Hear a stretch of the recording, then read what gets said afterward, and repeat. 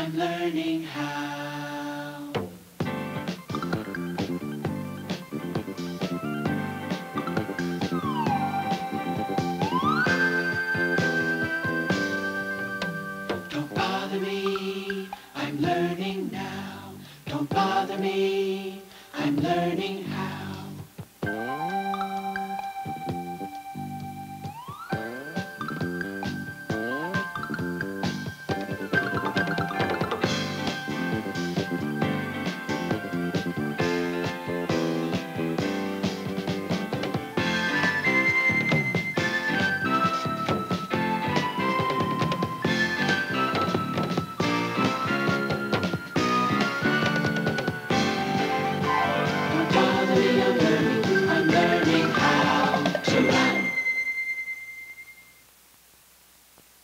Don't bother me. I'm learning.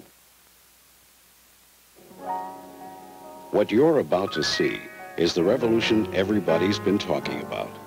The personal computer revolution that's sweeping the entire country. People of all ages are working with the latest technology. They're playing with it, doing business with it, and they're learning with it. Video games took the mystery out of computers. They're easy to learn to play. They test your reflexes, and they're a lot of fun. But once you learn to make the computer work for you, you can't wait to go a step further. From fun to challenge, from entertainment to education, from using a toy to using a tool that can stretch your imagination and expand your limits.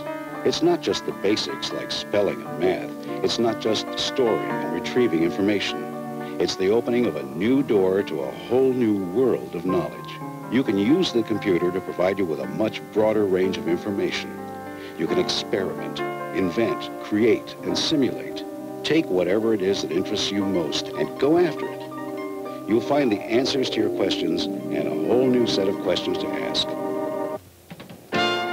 Let's go meet some people in California who are already using computers. In the Menlo Park community, a group of people are making a major concerted effort to give all its residents a chance to try the computer. The group took equipment and instructors to visit and teach at the library and boys club, as well as the Senior Citizen Center. They even put up a computer exhibit at the street fair.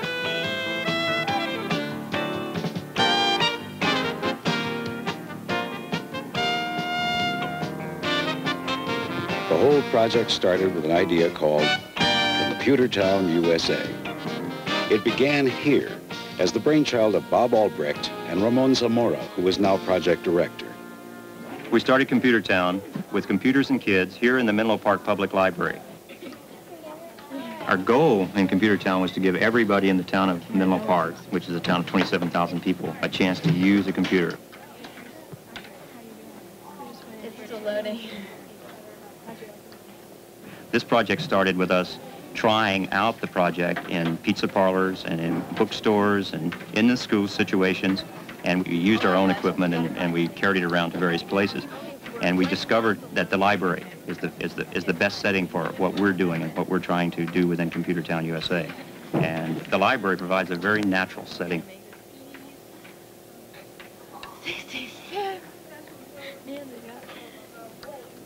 This is open, you know, eight or nine hours a day, and so it's a free access uh, location, and people can just come in and use computers like they would a, a card catalog or a book. So we're, we're providing an alternative place for people to get their hands on a microcomputer and to learn about the technology. We don't have a hammer. We don't need a simple one for it.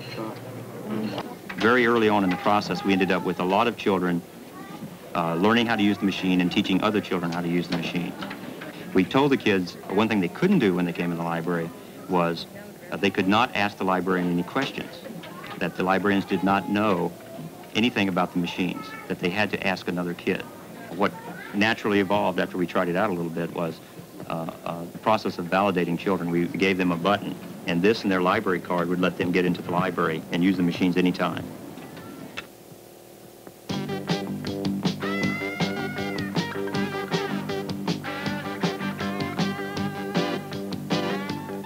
The Herbert Hoover Boys Club has 600 members, both boys and girls, from East Palo Alto and Menlo Park, a minority target area.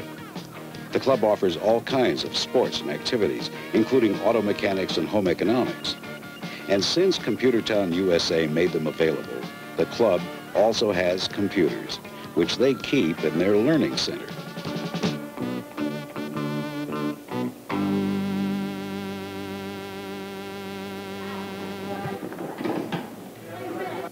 Our Learning Center is really a library, but we found that uh, it's more attractive to youngsters if uh, we dub it our Learning Center and try to uh, sneak a little learning in. So even uh, our usage of the uh, software, for an example, a prerequisite for playing the games that are available is that they use the educational tapes, and they kind of have to suffer through that. The kids say we have to go through this before we get to what we really want.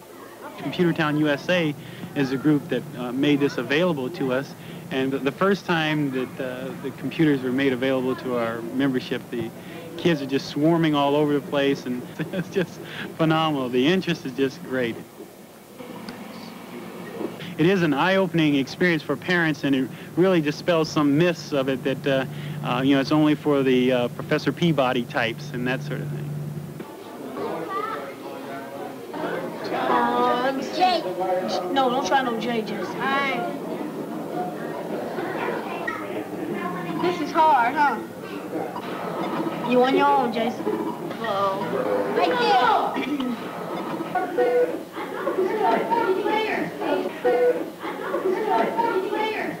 How much I want uh, to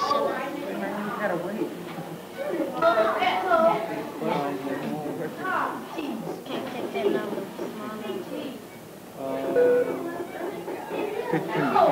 You want it, kidding me.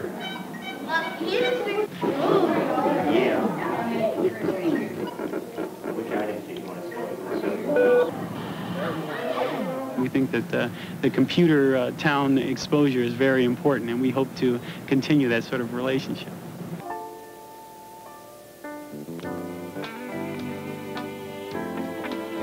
It isn't just the boys and girls who are learning. At the Little House Senior Citizen Center in Menlo Park, you can learn to paint, sew, and sculpt, or try your hand at the computer.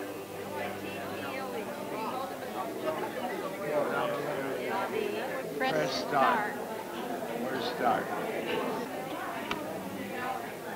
Maybe Let's that. try Shoot this. it. Okay. Start. Ready? Okay, I'm ready. Let's go. I don't know. Okay, now, was I? Answer the question again. Yeah. Young. Fairbanks. Some people are initially scared to death of computers. Matt Lehman overcame his fear. I was terrified of computers when I first started to fool with them. And when I came over here to do some volunteer work at the little house, it certainly occurred to me that here's a whole group of people. They're in the same position I was, that are terrified of these monsters, that all they do is mess your bills up. And that maybe if they knew a little bit more about them, that they would uh, feel a little more comfortable with it. I have been using mine now for so many things at home, I don't see how anybody gets along without one. All the letters I type are on that because I make terrible mistakes. It's very easy to correct when you have a word processing program. Almost all of my uh, financial information is kept on a computer now. Everything from magazine renewal lists to uh, recipes. I mean, there's so many things that can be done. I think it's going to be an individual thing. Alabama. Alabama. Go. We're gonna get that right. Go. Push the button. That's oblique enough that it just might be. Jackson. Thank you. Maine. This ought to be a dinger. 13. I think uh, we saw, well, they got interested, and they'll get interested in games, and from games to uh, more practical Oh, use, guess they gave me all these just like children. And they'll learn like children. So uh, this will make them a little more familiar with the thing. Once you know a, a device, it's no longer a monster.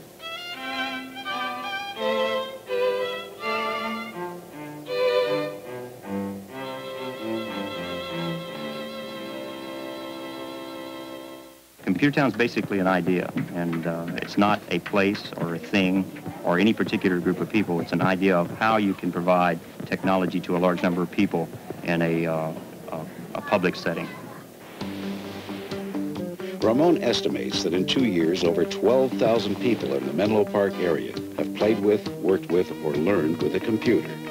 You don't have to be a genius, a brain, or a mathematician. You just have to be curious.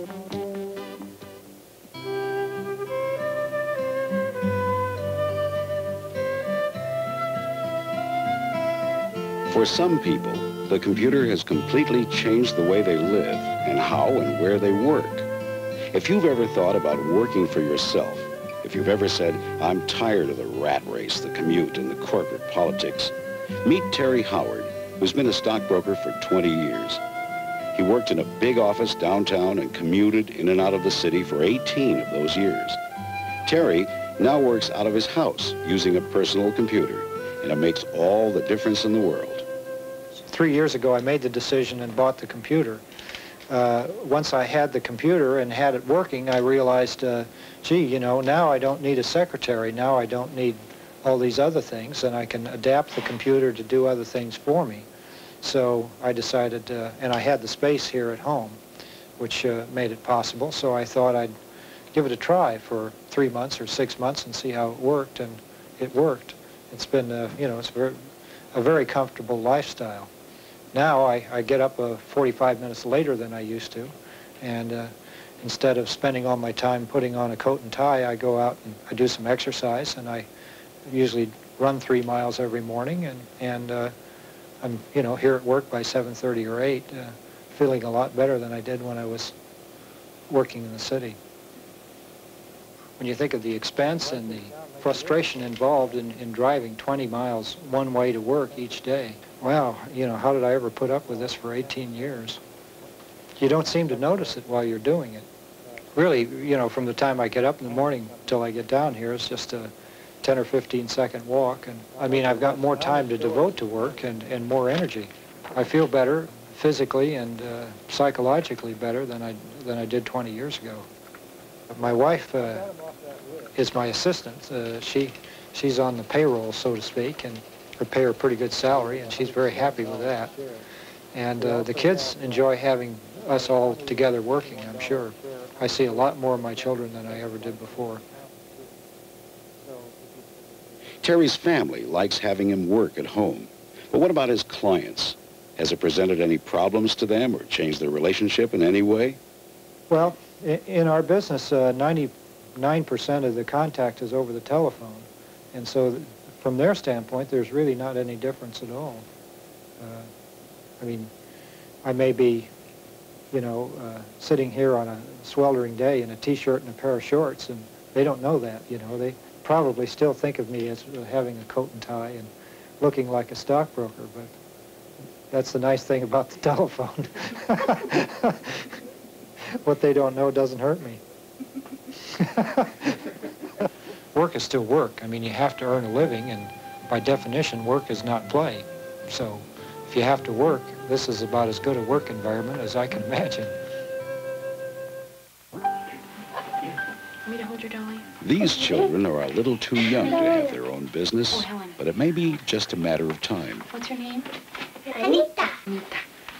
Mm-hmm. She never gets in the way. but she always loses her blouse. Not always. No, just one day today. Okay. Helena and Maria are learning to draw with a graphics plotter. Their first subject is Anita. There's a head. Okay. At this age, using the computer is no more complicated than playing with a doll. She has got a very pretty dress.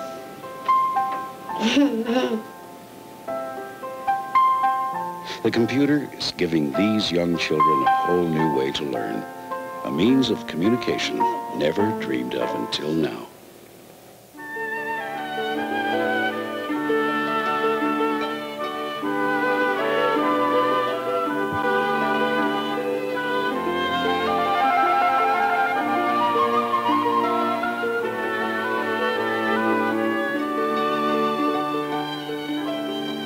Here in the Santa Barbara Hills, there's a very special summer camp, a computer camp.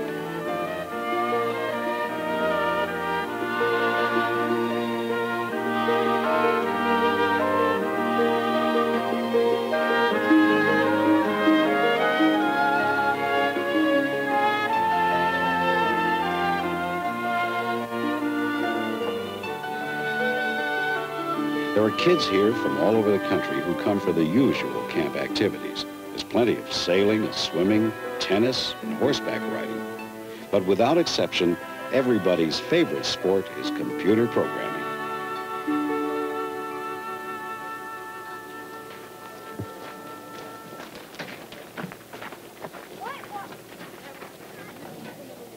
Programming is definitely an indoor sport. Computers are housed in trailers, which must be kept dust-free and cool. So, as an extra added bonus, you learn to program barefoot. Camp director Gary White explains what it's like to run a computer camp. These kids are so eager, they're so willing, they're so bright, they're so enthusiastic. It's uh, part of it just runs itself. I mean, you put the kids on the computers, and in some ways, nature just takes its course. The kids get in here, and boom, they're right on the computer, and they want to do everything, and they type and they try things. Uh, you give them new technology, and they're on it immediately. They've got it figured out, and they're working with it right away. They're learning to think logically. They're learning to explore. When it comes right down to it, a 10-year-old camper here helps to teach. And it's not unusual to have them teaching a 15 or a 16-year-old camper because you never know who's going to get the concepts first, who's going to be uh, who's going to be the, the sharpest, the quickest to catch on to something, and they love being able to share it. It's better than a regular camp? Yeah. Yeah. Yeah. Some things never change. Computers or no computers, kids will be kids.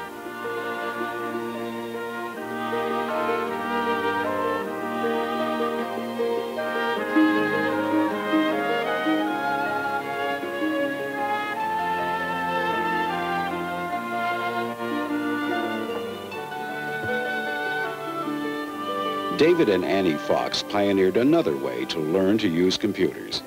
In 1977, they founded the Marin Computer Center north of San Francisco. It's a public access center where anyone can come in and use the computers.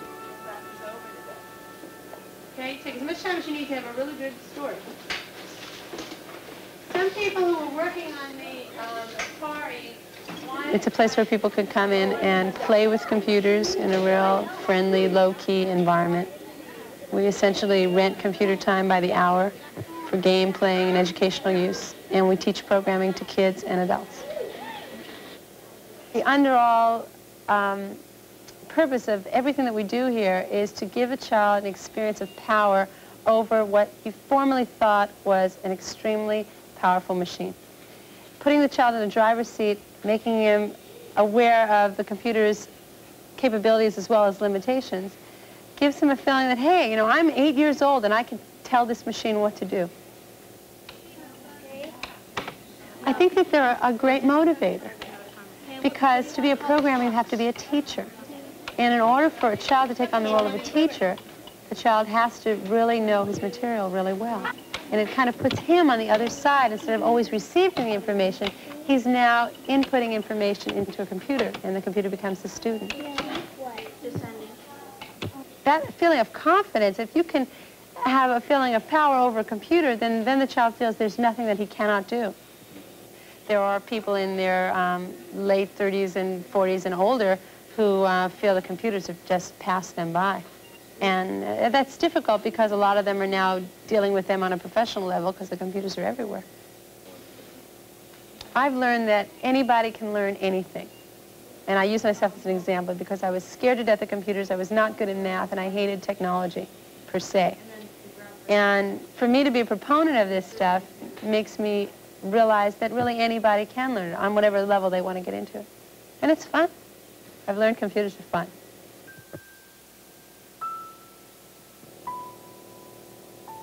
As you can see, the personal computer is by no means limited to video games. It can be used as a toy or as a tool. A tool that can draw, and then animate the drawing. It's a new way to teach children their ABCs. It can run a business.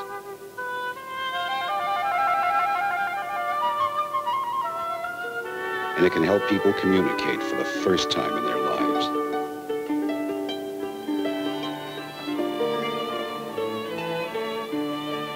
But we cannot afford to let noisy, aggressive, shoot-'em-out-of-the-sky games threaten the positive potential of the computer. The future of software does not lie in the darkness of the video arcade. It lies in the imagination, ready to follow in any direction the human mind chooses to go. The computer is meant for the curious, the wanderers, the explorers, for people who know there is more than one way to do it, and who are ready to take that step from fun to challenge, from entertainment to education. With the computer, we now have in our hands a whole new way to learn, and it's no longer a matter of will you have one. It's a question of what you will use yours for. Don't